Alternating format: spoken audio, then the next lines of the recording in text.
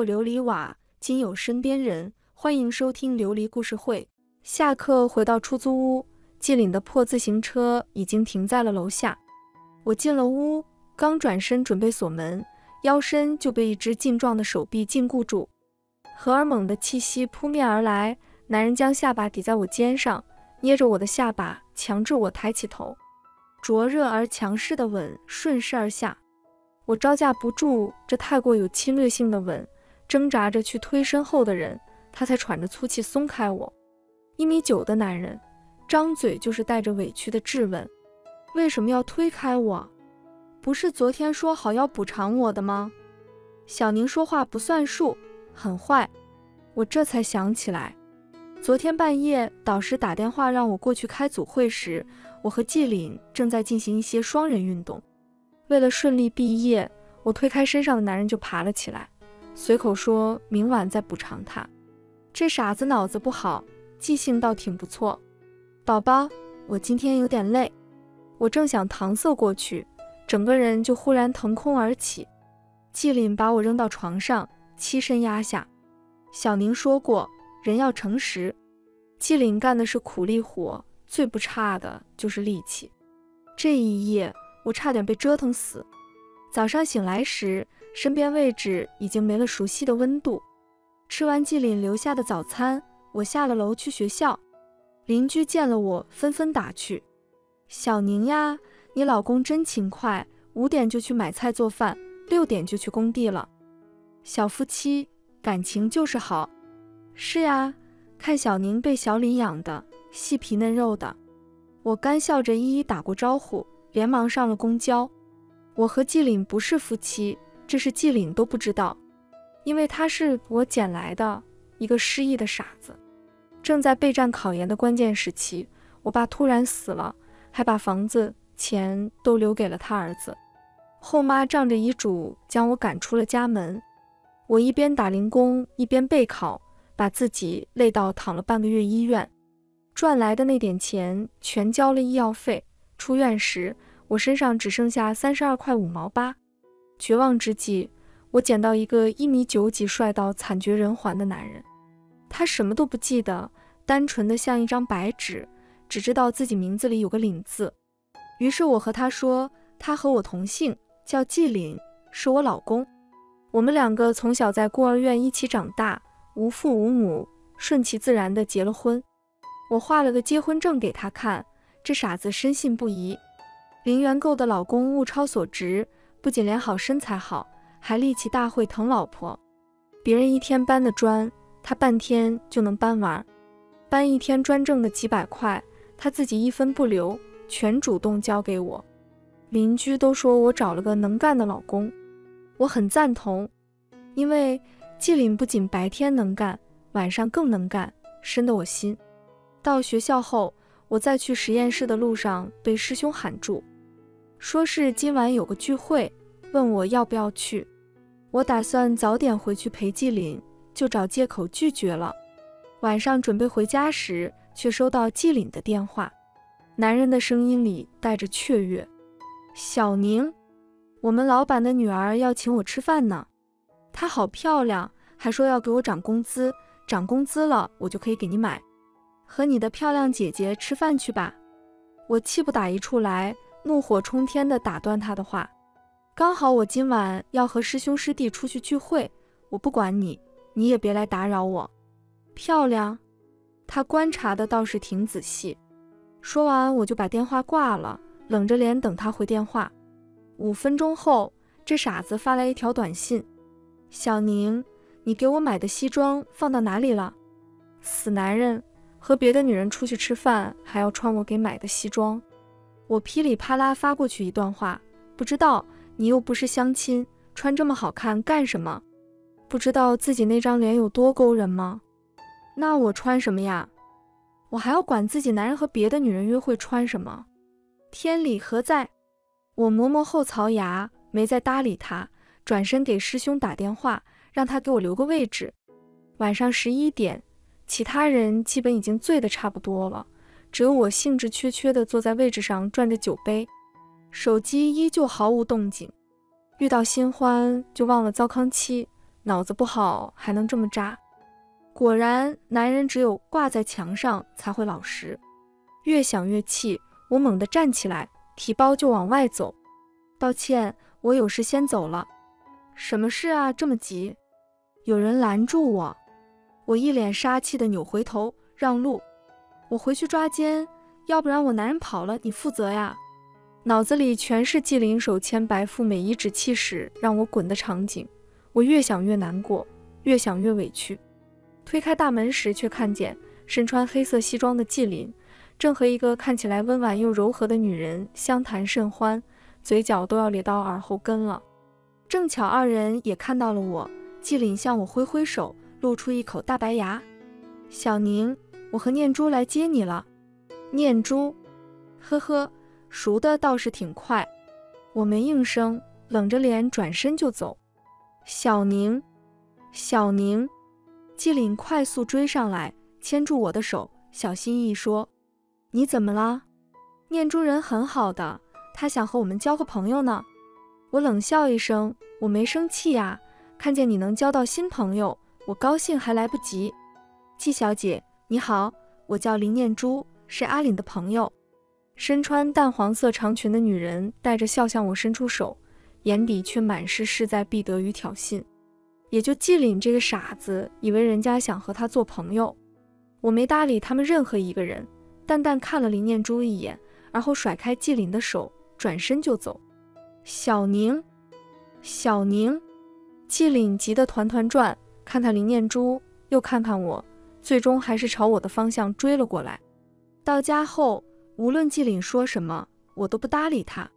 小宁，你理理我好不好？男人委屈巴巴地蹲在我身边，用额头蹭我的腿撒娇，像只哼哼唧唧的大型犬。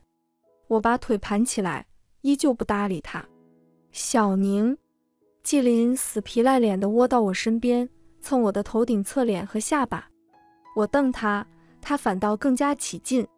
到最后，我也不知道他是怎么亲上来的，衣服散落了一地。季林垂眼看着我。呼吸急促而紊乱，汗水坠在他额前的碎发上，脸上的情欲取代了平时的稚气。他的声音随着动作起起伏伏：“对不起，小宁，我错了，我再也不会惹你生气了，你原谅我好不好？”这傻子一身牛力气，我连嘴都张不开，生理眼泪都被他撞出来了。混蛋！我呜咽着，一口咬上他的肩膀。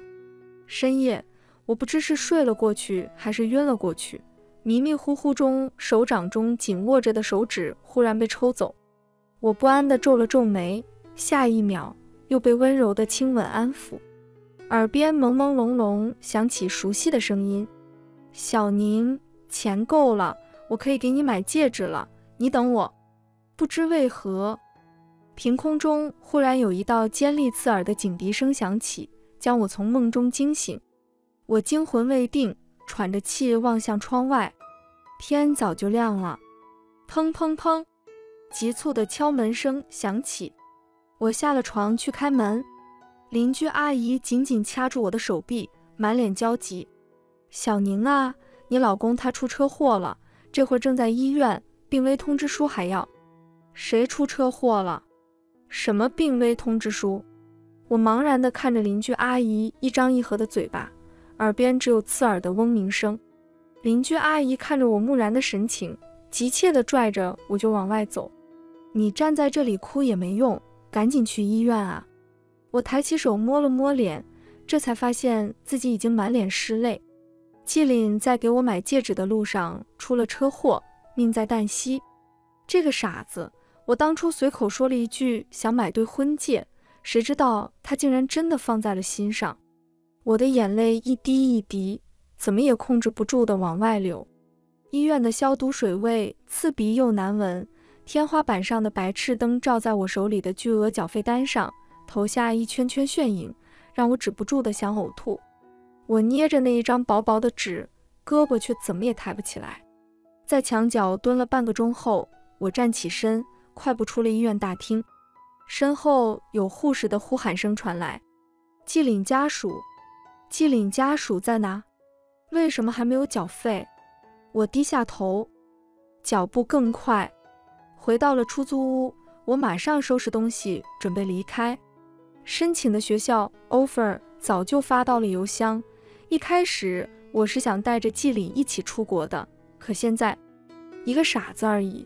难道我要为了他放弃自己的学业，背上沉重的债务，代替我即将走向光明人生吗？可踏出房门那一刻，我还是去银行把存的所有学费都转进了同一张卡里。钱不够，我就挨个给自己朋友打电话借，一个接一个打了整整一夜，甚至第二天不惜去借高利贷。终于在凑齐了这二十三万之后，我急匆匆赶往医院。路过广场时，却看到正放映新闻的大屏幕中，女记者专业的播音声忽然传进我的耳中：失踪多日的裴氏继承人安全归家，裴氏股价因此持续上涨。我脚步一顿，下意识望向屏幕，画面中被众人围在中间的男人五官凌厉，面容冷峭，一双狭眸幽暗深沉。只是淡淡扫一眼嘈杂的记者，下一秒。就无人再敢作声。他神色平淡，随手拿起一个话筒，嗓音冷冽：“纪宁，给你两天时间，自己来找我。”裴氏太子爷全程寻找一个叫纪宁的女人的消息一经放出，所有人都在猜测两人之间发生了什么爱恨纠葛。凡是知道我和裴岭过去的人，几乎要把我的电话打爆。邻居也都敲门来问。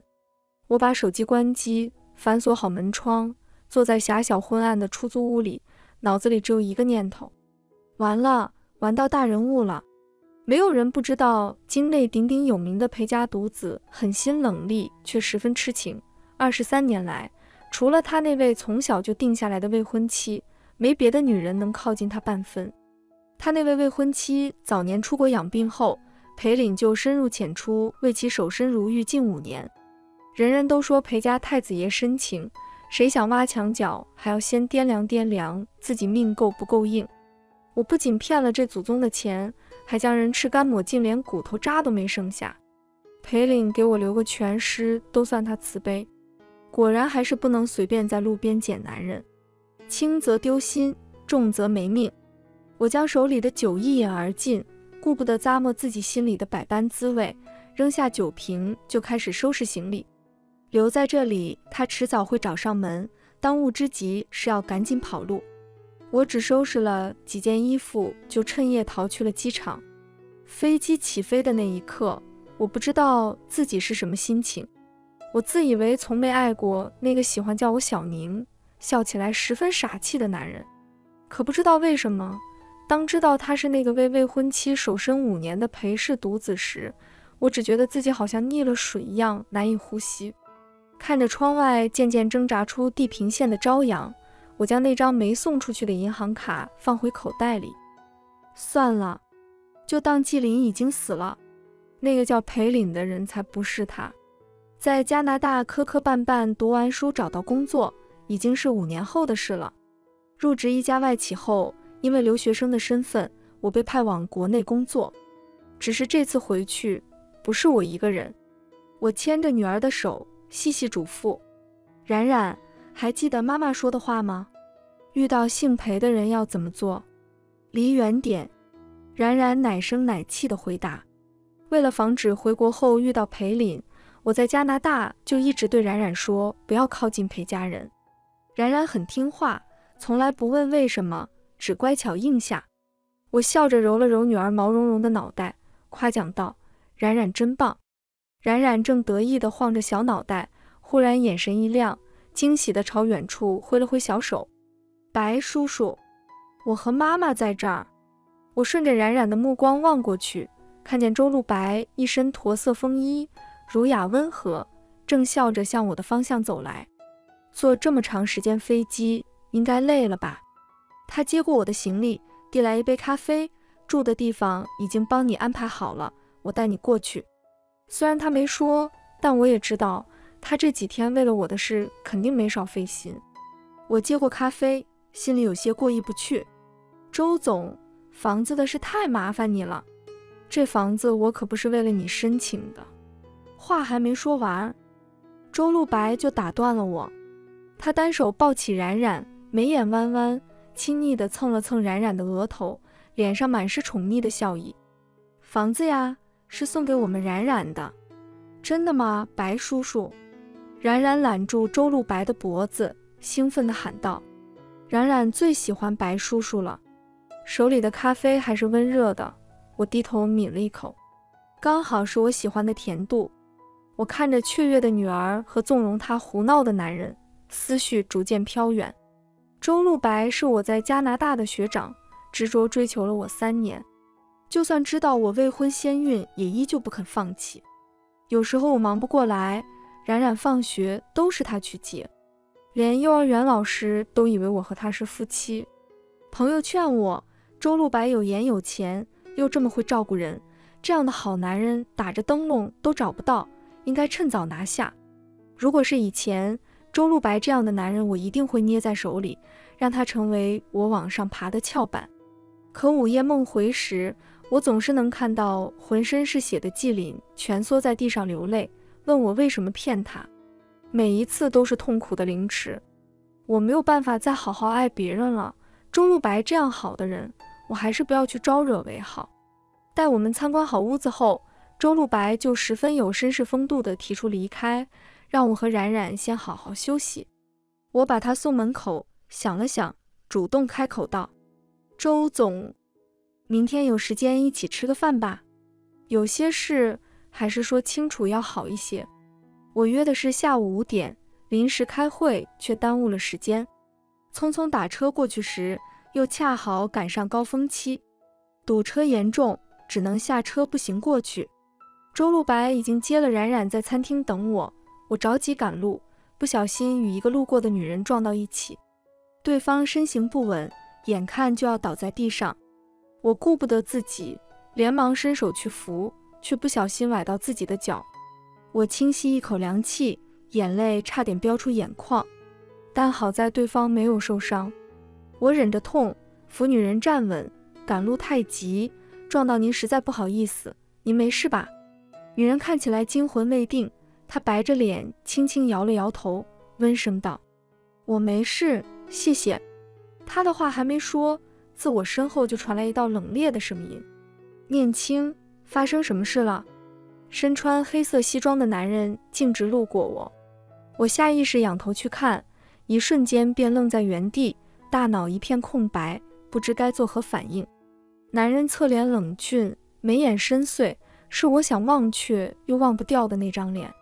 我知道与他迟早会重逢，可我没想到会这么快。裴凛扶着纤弱的女人，皱眉轻轻顺着她的背，一副温柔又妥帖的样子，完全没注意到我。他就站在那里，而我的慌乱、怯懦，就像冰融的春水一样流向他。使我溃不成军，我将颤抖着的手指紧握成拳，低下头准备转身离开，却忽然被叫住。季宁，男人声音平淡：“故人再见，不打声招呼吗？”我脚步一顿，僵在原地。咖啡厅外，裴岭亲自给脸色还苍白着的女人打开车门：“念青，你先和助理去看婚纱，我稍后就到。”他要结婚了。我愣了一愣，猛地抬起眼，却看见裴岭单膝跪在地上，亲自为女人系着鞋带。男人屈膝跪地的场景让我想起从前那个老实粘着我撒娇的傻子，也喜欢给我系鞋带。只是他不比裴岭手稳，总是系得很丑，鼻子有些发酸。我低下头，掩住眼底的湿润。我有点想季岭了。季宁，嗯。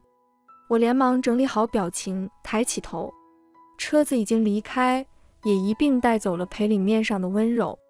他又恢复了那副淡漠的模样，没什么情绪地说：“进去吧，我们好好谈谈。”我们在落地窗前落座，裴岭叫来服务员给我们上了两杯咖啡。此后，我们二人就陷入了长久的寂静中。不知过了多久，裴岭的声音打破了沉默。你没有什么要和我说的吗？我的眼睫微微一颤，低声说：“该知道的，你应该也都已经知道了。我没有什么好说的了。”季宁，他忽然站起来，攥着我的手腕，怒声道：“把我自己丢在医院里，没留下只字片语就不告而别。”裴岭的力气越来越大，到最后甚至有些颤抖。这些你不该和我解释清楚吗？我爸和我继母都说我天生没良心，爷爷奶奶最疼我，可他们去世时，我半滴眼泪都没掉。被骂的多了，我自己也觉得自己是个没良心的人。我一遍遍这样告诉自己，我为什么要为了一个傻子损坏自己的利益？可出了医院后，我还是去银行把存的所有学费都转进了同一张卡里。钱不够，我就挨个给自己朋友打电话借。我这样一个自私自利的人，为一个与自己毫无关系的傻子背上二十三万的债。可凑齐的那一刻，我只庆幸那个傻子能活下来了。我想告诉他，我没有把他自己丢在医院里，更没有放弃他。可他快要结婚了。我和他的关系本就名不正言不顺，现在再说这些只会让情况变得更复杂。他的未婚妻是无辜的，不该因为我受到伤害。不如保持沉默，不如就让他恨我，不如以后再也不见，这样对我们谁都好。裴总没什么好解释的。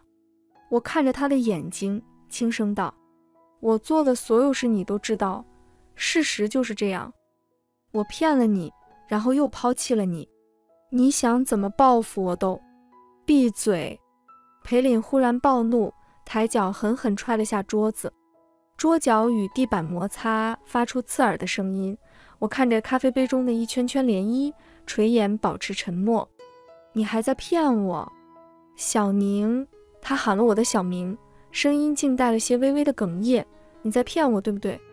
我恍惚中以为自己看见了纪林，吵架时纪林也总是这样，红着眼圈拽着我，不肯让我走。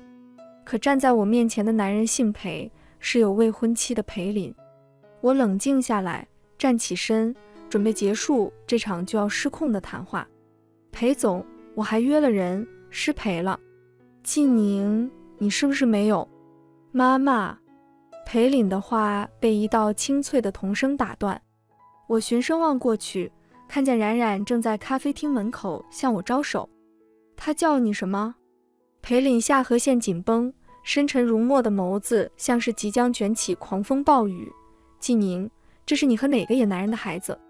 我还没答话，身穿咖色西装的周露白就走了进来。他温和儒雅，脸上还带着笑。裴总，幸会。不巧，鄙人就是您口中的那个野男人。没看脸色阴郁的裴凛，他牵起我的手，温声说：“不是和朋友叙旧吗？怎么这么久？”冉冉和我都等急了。他想牵着我走，可我的另一只手还在裴凛那里。他说的是真的吗？裴凛死死地盯着我，不肯放开我的手。我要听你说。我偏过头没有看他，只轻声说：“是真的，我和他已经在一起了。”下一秒。他抓着我的手就陡然松开，男人毫不犹豫地转身离开，背影决绝，只是脚步凌乱，连一向笔直的脊背似乎都弯曲了下来。晚上，冉冉睡着后，我带着周露白去了一家面馆。堂堂上市公司副总和我坐在生锈的铁凳子上吸面，怎么看都是委屈了人家。我有些过意不去，不好意思啊，今天实在太晚了。改天我再换个地方重新请吧。周露白燕下面，满足地叹了口气。没关系，这面味道非常不错，也算意外之喜了。你喜欢就好。我挑着碗里的面条，犹犹豫豫，最终还是闭上了嘴。今天的事你不用放在心上。周露白对我笑了笑，眨眨眼道：“因为我也没放在心上。”他的意思是。他不会因为今天发生的事而以为我答应了他的追求。不愧是永远细致绅士的周露白，他这样的人身后不知有多少女生追，却偏偏非要吊死在我这棵歪脖子树上。我想了想，说：“周总，以后冉冉还是我自己来接吧。咱们除了工作上的事，其他时间还是少联系为好。”周露白放下筷子，依旧是温雅的模样。打扰你的正常生活，我很抱歉，以后我会注意。但不巧，过几天我还需要来找你，恰好是工作上的事。话题被他三言两语挑开，我的注意力彻底被“工作”两个字带走。算得上是行业头部的林家要为小女儿举办生日宴会，大半个圈子里的人都会赴宴。我刚回国不久，这是个帮我拓展人脉的绝佳时机。而周露白的秘书恰好生病，所以就由我作为他的女伴出席宴会。我答应的干脆，却忘了裴凛的未婚妻就叫林念青。大厅灯光如昼，我跟着周露白一边认人一边敬酒，直至敬到最后，我举起酒杯，话却卡在了喉咙里。男人微低着头看我，眼眸漆黑，唇角轻扯，嗓音淡漠：“怎么到我这儿就愣住了？”我裴凛是不配喝周总和周总夫人敬的酒吗？我回过神来，忙道：“裴总好，幸会，我敬您一杯。”裴凛漫不经心地举杯，将酒一饮而尽。而后，他望向我身旁的周露白，微微勾唇：“周总不敬我一杯吗？”看着裴岭眼底的暗芒，我心底涌出一股不祥的预感。果然，下一秒。他从身后的餐桌上拎起一瓶伏特加，挑眉道：“喝红酒多没意思，我们喝这个，一人一瓶，怎么样？”裴岭拿的是波兰蒸馏伏特加，酒精浓度高达百分之九十六，几乎接近纯酒精，正常人几口下去都撑不住，更不要说空口喝完一整瓶了。进 ICU 都算他命大。裴岭不仅自己想死。还想拉着周露白一起死，但还好，周露白是个拎得清的，应该不会跟着他一起拿命开玩笑。我一口气还没说完，就听周露白淡笑着回：“裴总既然想喝，那周某就舍命陪君子了。”顾不得想周露白今天抽的什么风，我连忙开口：“抱歉，裴总，我们周总今天身体不适，就不陪您喝了，有时间再陪您尽兴。”周露白垂眼笑了笑，乖巧的没再说话。裴凛的脸色却在刹那间变得十分阴沉，他面容紧绷，嗤笑道：“想不到大名鼎鼎的周总如今也学会吃软饭了。”这话实在有些难听。我皱了皱眉，正想开口，一道轻柔的女声忽然传来：“阿凛，不可以对客人无礼。”自楼上下来两个长相相似的女人。一个身着青绿色旗袍，一个穿着白色长裙。这两位我都认识。穿旗袍的是裴岭的未婚妻林念青，而身着白色长裙的，正是五年前与我有过一面之缘的林念珠。怪不得当年他对我敌意这么大，估计是早就认出裴岭的身份了。林念珠没有认出我，她哒哒哒跑到裴岭身旁，露出几分娇羞：“裴哥哥。”今天的第一支舞，你可以陪我跳吗？和自己姐夫跳开场舞。我有些意外，用余光去看林念青的反应，可他的脸上却依旧带着淡笑，仿佛没看到妹妹在邀请自己未婚夫跳舞。抱歉，脚崴了，不能跳舞。裴凛没看林念珠一眼，只轻声对林念青说：“伯父刚刚说有事找我，你不舒服，随时给我打电话。”待林念青点过头后，他才转身离开。身后众人窃语，羡慕林念青和裴林感情深厚。我听着大家的议论，低头抿了一口酒，掩住脸上有些僵硬的笑。裴林走后，大厅紧绷的气氛终于缓和下来一些。周露白被一群老总围着寒暄，我挤不进去，就端着酒杯四处闲逛，却不巧。在花园撞到被几个公子哥堵住敬酒的林念青，林念青体弱，想来应是喝不得烈酒，此时在众人的起哄下有些为难。我脑子一热，拿过林念青手里的酒杯，将他挡在身后。裴总有事找林小姐，这杯酒我替他喝了，各位随意。几个人一听裴林要来，立马脸色一变，酒醒了大半，话也没说一句，互相搀扶着跑了。等人都走远后，林念青才松了一口气，对我感激地道：“季小姐，谢谢你。”不客气。看着他脸上的笑，我反而有点不好意思，举手之劳而已。我和他并肩走着，有些好奇地问：“你不想喝，为什么不直接拒绝呢？”他轻轻叹了口气：“商场关系复杂，如果不小心得罪了哪个，会连累自家人的。”我有些惊愕他细腻的心思，忍不住道：“你这样忧思过切，长久下来会生病的。”林念青柔柔一笑，只是笑里带了几分苦涩与无奈。我的身体再差，也差不到哪去了。林家大小姐打小身体就不好，这是谁都知道的事。我不知道该怎么安慰她，只好保持沉默。走了一段路后，就要到大厅，我正准备找借口离开，却忽然感觉到一阵天旋地转。季小姐，你怎么了？如果不是林念青及时抓住我的手，我可能已经瘫倒在了地上。热意从难以启齿的地方蔓延开来，我只得死死地抓着林念青。咬牙忍着这奇怪的感觉，只喝了一杯酒而已，额头怎么会这么烫？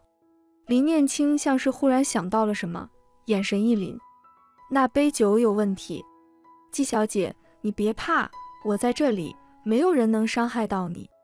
他揽住我的腰，跌跌撞撞地带我进了一个偏僻的客房。我被小心地搀扶进已经放满凉水的浴缸中，凉意让模糊的意识有了一丝清醒。浴室外，林念青的声音朦朦胧胧传进来：“去叫家庭医生，让所有保镖围住客房，不许任何人进来。打电话给裴凛，让他立马过来。还有，一定要拖住周露白，谁也不许告诉他季明在这里。为什么要拖住周露白？为什么要让裴凛过来？”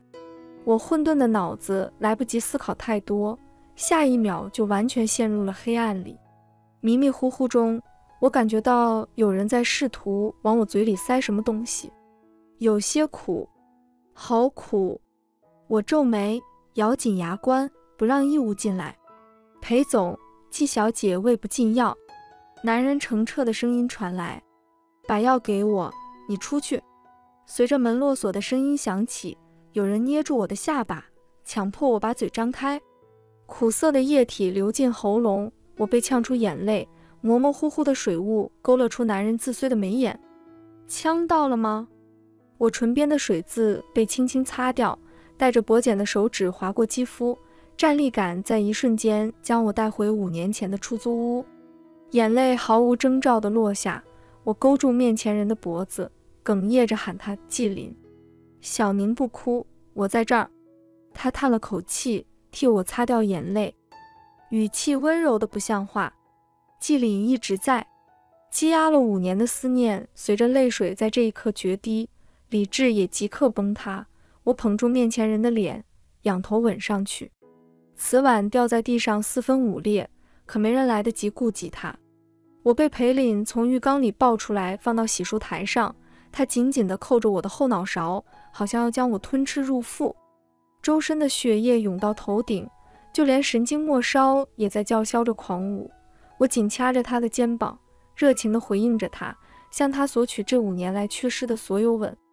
在思念的灼烤下，这一夜格外疯狂。第二天我醒来时，整个人还是懵的，屋子里只有我一个人，四周都静悄悄的。我想出门看看，谁知刚迈开腿，膝盖就一软，让我直接跪在了地上，疼得我龇牙咧嘴。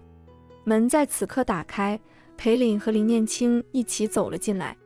昨晚发生的事瞬间全部涌进了脑海，让我手脚冰凉，呼吸困难，几乎不敢抬眼看林念青。小宁，你怎么跪在地上？裴凛伸手来扶我，肌肤相贴，让我狠狠一颤。而林念青停留在我身上的目光，更让我感到无地自容。我咬着下唇，躲开了裴凛的手。阿林，你先去办完手里的要紧事，我和季小姐聊聊。裴凛犹豫了一下，还是转身离开了房间。屋子又重新落入寂静。衣料的摩擦声响起，我眼前出现一张温和带笑的脸。林念青朝我伸出手，嗓音依旧温柔：“小宁，我扶你去床上躺着好不好？”我愣愣地看着他，着了魔一般。将自己的手放在了他的掌心中，林念青把我扶到床上，为我盖上一张薄毯，又给我倒了一杯热水。你要不要睡一会？他给我掖了掖毯子，眉眼弯弯，整个人柔和的要命。我就在这里陪着你。我不知道该和他说什么，只得轻轻点了点头。窗外阳光绚烂，嘈杂的人声朦朦胧胧传进来，把屋子里衬托得更加静谧。林念青坐在阳台上翻看着一本书，他长而翘的睫毛微垂，眼角还带着微不可察的笑。淡青色的旗袍真的很适合他，将他显得格外温柔，就像三月里盛开的一株春兰。不得不承认，他和裴岭格外般配。季小姐有什么事想问我吗？林念青忽然偏过头来，对我微微一笑：“你已经盯着我看很长时间了。”我愣了愣，连忙道：“道歉，打扰到你了。季小姐就不想问问我和阿岭的事吗？”她垂目翻了一页书，声音轻柔：“你们之间似乎有很深的误会。”我愕然抬眼，没想到他会说出这样的话。我和裴岭之间有误会，明明他才是最大受益人。林念青合上书，站起身，坐到了我身边。他沉默地看着窗外郁郁葱葱的蔷薇，片刻后轻轻开口：“蔷薇是我最喜欢的花。有人说过，希望我能像蔷薇花一样，就算没有足够的阳光和肥沃的土壤，也能茁壮成长。那个人是裴岸。”林念青偏头望向我，眼眶微红：“阿岭的哥哥。”我抿了抿唇，半晌没说出来话，因为裴岭的大哥裴岸。在十七岁那年就去世了，而且是被恶意杀害。当年那桩令人毛骨悚然的案子震惊了全国。十七岁少年的尸体破碎不堪，警方找遍全市的下水道，才将其堪堪拼齐。那年我们刚毕业，他向我告白了。那天我真的好开心，我们牵着手回家，聊了很多未来的事。我觉得我们一定能白头到老。可偏偏……我们遇到几个喝多的小混混，裴岸把我关进一个电话亭里，死死堵着门。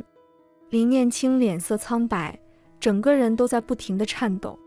我不知道该怎么安慰他，只好紧紧握住他冰凉的手。季小姐，我能看出来，阿林很喜欢你。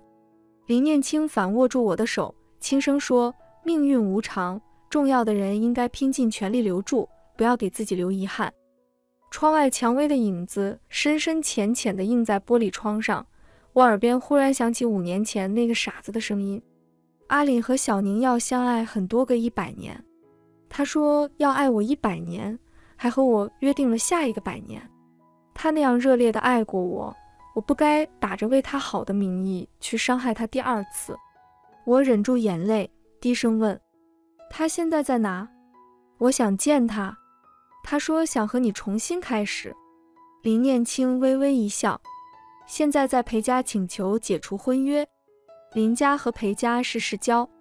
林念青作为林氏长女，从小就和裴家继承人定下娃娃亲。裴岸死后，裴氏继承人的位置和哥哥的婚约一起落到了裴凛的肩膀上。因为是哥哥的心上人，所以他细心照料，从不敢不敬半分。他活了二十多年，从不知道心动是什么感觉。裴林想，就和林念青结婚，相敬如宾的过一辈子也很好。直到有次，他被对家谋杀，出意外失去了记忆，从黑暗中醒来时，先看到的却是一双狡黠灵动的眼睛。眼睛的主人，那个瘦瘦小小的女孩，告诉他，她叫季林，无父无母。而这个叫季宁的女孩。是他的妻子，没有记忆的裴林很轻易的就接受了这个身份设定。和季宁在一起的日子很快乐，他们拥抱、接吻，在凌晨三点的大街上像小孩子一样打闹。季宁用别样的方式为他灰白的灵魂涂上一层绚丽的色彩。他不知道什么是爱，只知道他想和怀里酣睡的女孩一辈子不分开。所以他拼了命的赚钱，想给她好看的衣服穿，给她大房子住。终于攒了一点点钱后，他想给她买一个戒指，圆环一样的钻戒，套在手指上，应该就能让他永远留在身边吧。可是意外突生，他出了车祸，医药费昂贵无比，而他丢下昏迷不醒的自己，远渡重洋飞去了国外。这次的意外让他恢复了记忆。最先找到他的林念珠说，那个叫季宁的女人是一个彻彻底底的骗子。这些年来的相处，原来是一场精心策划的骗局吗？裴岭气过、恨过，甚至为他流过泪。可所有的情绪消失后，所披露出的还是刻骨铭心的爱。季宁骗他，他心甘情愿；季宁要钱，他恰好有钱。如果季宁图他的脸，幸好他长得也不算差。只要他不再丢下他走掉，无论要什么，他都可以给。婚约已经解除，裴岭将车停在珠宝店门前，他要买一枚新的戒指，问问那个女孩愿不愿意和他重新开始。大街上传来汽车的嗡鸣声，震耳欲聋。裴岭抬眼望过去。看见一辆粉色的跑车似离弦的箭一般朝自己冲过来，粉色跑车和白色阿斯顿马丁撞在一起，火焰伴随着巨大的爆炸声冲上天空。我亲眼看着火光把裴岭的车吞噬，悲痛与绝望在瞬间将我淹没。裴岭，我想喊，张嘴却是阴哑的气声。我跌跌撞撞冲上去，跪在冲天的火焰旁，徒手扒开汽车残骸。裴岭，你别死！我还没和你解释清楚，你别死！我疯狂捶打着已经看不出原貌的车门，失声痛哭。裴岭，求你别丢下我和女儿！为什么一定是我来承受这些？年少丧母，大学时被赶出家门，打工累到躺进医院，没钱时一天吃三顿馒头。好不容易有个爱我的人，好不容易有个我爱的人。为什么要我亲眼目睹他的死亡？为什么要对我这么残忍？眼泪一滴滴砸在焦黑的土地上，我的双手早已血肉模糊，可我感觉不到疼，依旧朝最深处挖去。求求你，裴岭，求求你，女士，这里危险，请你立刻离开。警察和消防员都纷纷来劝我离开。求求你们，求求你们，救救他！我像个无助的孩子，哭着拽住一旁警察的衣角哀求：“您放心，我们一定竭尽所能。”就在这时，粉色跑车已经变形的车门忽然“砰”的一声掉在地上，浑身是血的林念珠自车厢里艰难地露出半个身子。他看见我，又疯癫地笑起来：“他死了，裴林被我撞死了。我得不到的人，你们谁也别想得到。”脑中嗡鸣声一片，我好像失去了思考的能力，只挣开警察的手，愣愣地朝燃的正欢的大火中快步走去。围观群众看到这一幕，都发出惊叫声。忽然，我身后响起一道熟悉的声音：“小宁！”我猛地扭回头，看见裴岭完好无损地站在街对面，手里还牵着冉冉，眼泪夺眶而出。我疯了一样朝他跑过去。裴岭迎上来，毫不犹豫地抱住我，我说不出来话，只拽着他的衣袖哭。裴岭把我抱在怀里，低声安慰：“别怕，别怕，我没事。”我在路上看到冉冉就下了车，没在车里。我用力地点了点头，闭上眼，抱紧他。幸好他没事。林念珠涉嫌故意杀人未遂，被警方带走调查。警局里。林念青红着眼，向我和裴岭鞠了一躬。念珠犯下这么大的错，是我这个姐姐管教无方，对不起。这怎么能怪你？我把他扶起来，皱眉道：“他一个有独立思考能力的成年人，犯了错关你什么事？”裴岭轻轻捏了捏我的手，没让我再继续说下去。念青，你和我助理先回去吧，事情我来解决。裴林把冉冉交给我，低声道。你和冉冉也先回家好不好？我处理完事情就过去。我知道裴岭是怕吓到冉冉，于是也没推脱，带着冉冉回了家。回去的路上，冉冉忽然开口：“妈妈，可以让裴叔叔当我爸爸吗？”我有些意外，这小丫头一向想让周露白做爸爸，怎么忽然又喜欢自己亲爹了？冉冉顶着我询问的目光，奶声奶气地开了口：“裴叔叔说，如果选他当爸爸，他就给我买一屋子的洋娃娃，我们还拉钩了。”我有些好笑，这么快就忘了白叔叔了？冉冉理直气壮：“白叔叔没有裴叔叔有钱，只要有钱才能让我和妈妈过得更好呀。”好家伙，有钱就是爹！摸了摸小姑娘毛茸茸的脑袋，我想了想，低声解释道。冉冉，其实裴叔叔就是爸爸。冉冉瞪大了眼，妈妈，你不是说爸爸已经死了吗？他怎么又活了？我哽住，半晌才找回来声音。不是，其实爸爸没有死，爸爸是隐姓埋名给冉冉挣钱去了。小姑娘正是好骗的时候。冉冉星星眼，一脸崇拜，爸爸好厉害，赚了这么多钱。是啊，爸爸这么厉害。那冉冉以后可不能惹爸爸生气哦。冉冉点点头，眉眼弯弯。爸爸赚了好多钱，冉冉最喜欢爸爸了。我自问没有给女儿灌输金钱至上的思想，更没有在物质方面亏待过她。怎么这小丫头这么喜欢钱？不过也好，省得以后她带回来一个黄毛，气死我和裴林。直到半夜，裴林才回来。我在厨房给他煮面。他在身后抱着我，一副全身心依赖的样子。鸡蛋面的香味悠悠飘荡开来，料理台微黄的灯光洒在地面上，将这个夜晚衬得无比温馨。裴林把下巴抵在我的肩膀上，轻轻叹了一口气：“好舒服，想一辈子抱着你。”我轻轻笑了笑：“你怎么和小孩子一样？”暧昧的氛围点燃两颗躁动的心。灯光下的两个身影越来越近，就在我和他的唇即将碰在一起时，屋子里忽然响起一道迷迷糊糊的声音：“妈妈，是爸爸回来了吗？”我猛地睁开眼，用力推开裴凛，看也没看痛的龇牙咧嘴的男人一眼。我连忙抱起女儿：“是呀，爸爸回来了。冉冉是来接爸爸的吗？”冉冉揉揉眼睛，朝裴岭伸出手，软乎乎的撒娇。爸爸抱，男人小心翼翼地接过小姑娘，叹道：“冉冉，爸爸走得早，你们该吃了很多苦吧？怎么还有人咒自己呢？”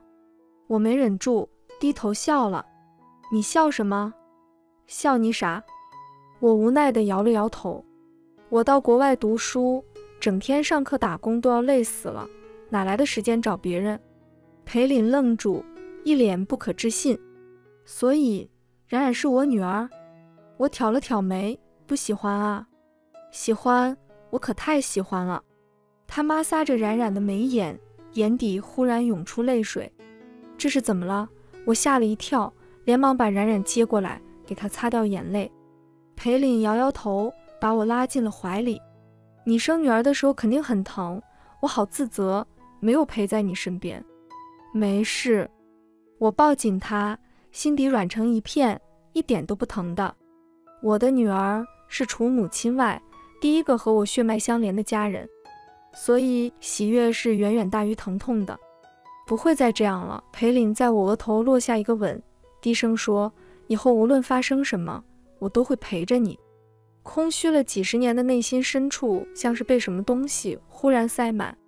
我靠在他怀里，轻轻点了点头：“好，我信你。”第二年三月，林念珠的案子了结。先被紧急带走的却是林念青，因为林念珠从十二岁时就给自己亲姐姐投毒，已经持续十几年。更让人震惊的是，林念青是知情的。这个温和幽静、似山间潺潺溪流般的女人，望着歇斯底里的妹妹，自言自语道：“不怪她，她只是太委屈了。”林念青是林家长女。又是早产，身体孱弱，在家中受尽宠爱。父母怕她将来得什么大病，决定再生一个孩子，给自己心爱的女儿做保障。林念珠就是在这样的情况下出生的，只有期盼，没有爱。她从小就被教导，姐姐身体不好，要让着姐姐。林念珠想，姐姐对她好，她让着点姐姐也没什么。可后来裴岸惨死，裴林两家婚约被转给了裴林。那个在十岁时姐姐生病，他被罚跪，唯一一个肯替他出头的少年，他什么都没有了，没有爱，没有依靠，什么都没有。可他的姐姐只要坐在那，就可以拥有他所渴望的一切。凭什么？林念珠哭哭笑笑，状若疯魔。你到底凭什么？林念青，我恨你，我恨死你了！林念青摇摇欲坠，泣不成声，只连声说对不起。林家两个女儿的故事让人唏嘘。我和裴岭结婚时，林念珠已经被关进了监狱，而林念青也被送进了疗养院接受治疗。我们的婚礼在巴厘岛举行，仪式很简单。裴岭还特地请了周露白，我以为周露白会拒绝，可他却毫不犹豫地答应了下来。更让我想不到的是，周露白是以新娘家属的身份来的。裴岭说，周露白想以我哥哥的身份挽着我进场，我本不想同意，毕竟这对他来说太不公平了。可周露白却执意如此，把我的手交给裴岭时，周露白笑得依旧温和儒雅。祝你们幸福美满，白头偕老。绅士如周露白，他才不会说类似于“不要给他机会”的话。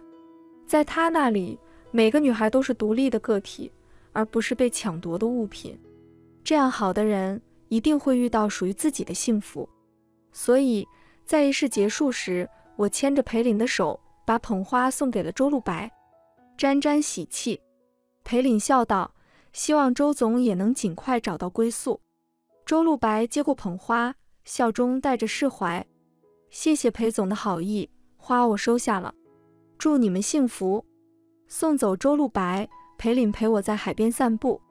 小宁，看那边。我顺着他指的方向望过去，眼前却忽然冒出一个吊坠，吊坠四四方方。中间有条裂缝，可以分为两半，做工精致。